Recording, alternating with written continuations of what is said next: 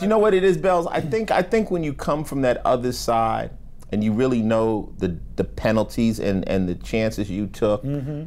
and then you finally get a chance to be legit.